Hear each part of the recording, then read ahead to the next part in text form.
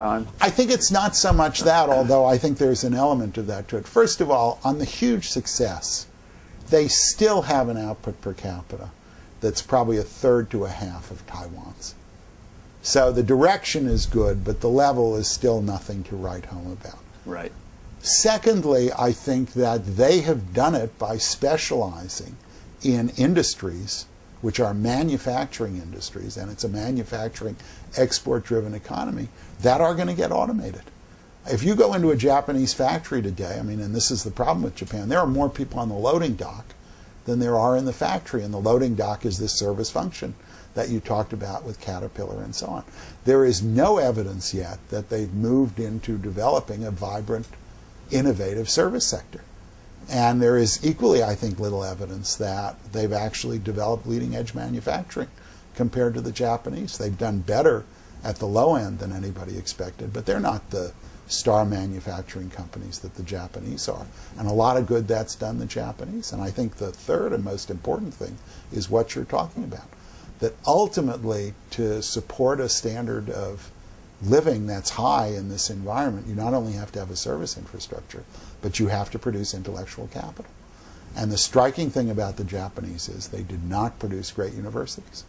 And I don't see any evidence that the Chinese are producing great universities either, because the truth is, and this is related, I think, to the political system, that the very best graduates who come to the United States, and a lot of them come, all want to stay here. Still. Of course. Wouldn't you? and you talk to them and you say, You want to go back to China? And they say, Not if I can help it. So, uh, does that mean India has an advantage over China in the sense that they're I more think- mind oriented? I think not there to are- mention the rule of law.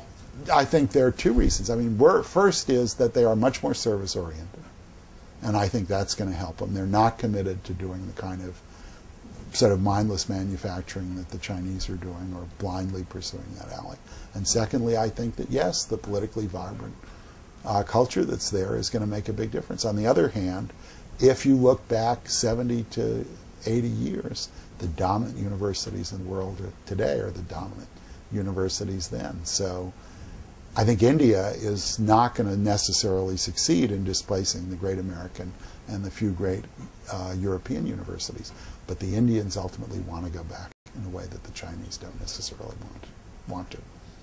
And uh, talking about Europe, why is Western Europe been such a laggard? I mean, they, they, they should have been at the forefront of. Uh, Again, I think that there are two reasons for that, and they're exactly the reasons we've talked about. I mean, that in a sense, the future is services, which are locally produced and consumed, and production of intellectual capital.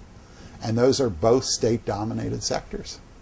And they have not produced successful universities because they have egalitarian overlays on things that mitigate against the kind of excellence that you have at Oxford and Cambridge and in the U.S. universities.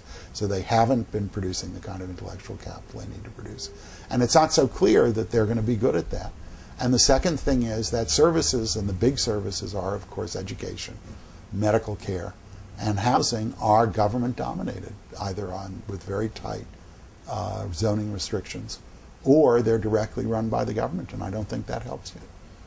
So, uh, quickly looking at uh, the the U.S., if uh, we want to continue to be a real leader, shouldn't we be going the opposite direction on healthcare, opening it up to entrepreneurs and uh, get get get a real rip in uh, innovation and production and like we do everywhere else? I mean, I, of course, I think that's true. I mean, and, I, and if I can say something about the United States, because I think it's important, there are in the world two basic ways you control human behavior and have societies function.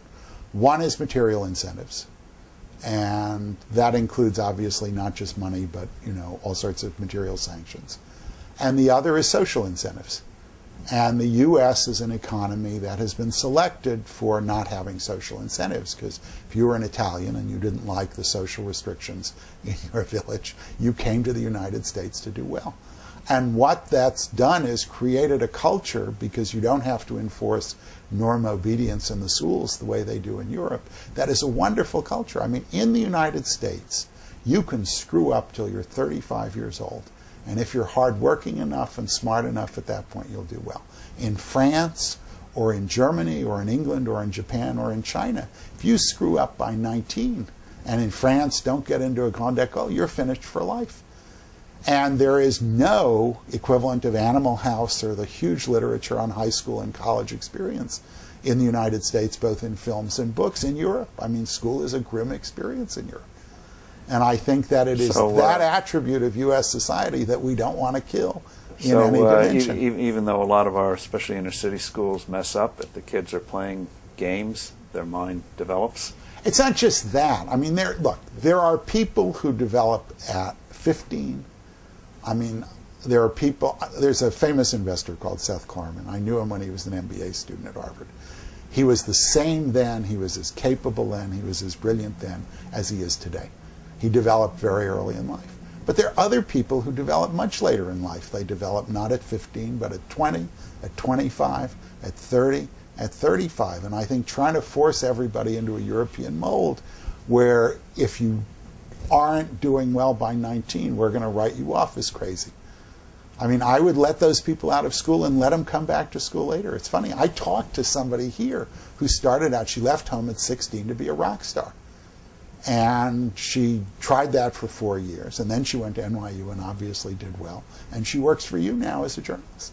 That is not possible in Europe. And I think that's one of the glories of the United States that you want to make sure is not eliminated by trying to pursue a European model of service and welfare provision. I mean, there's a downside to it, but I think there's a wonderful upside to it. Bruce, thank you very much. Thank you. Good, good way to end.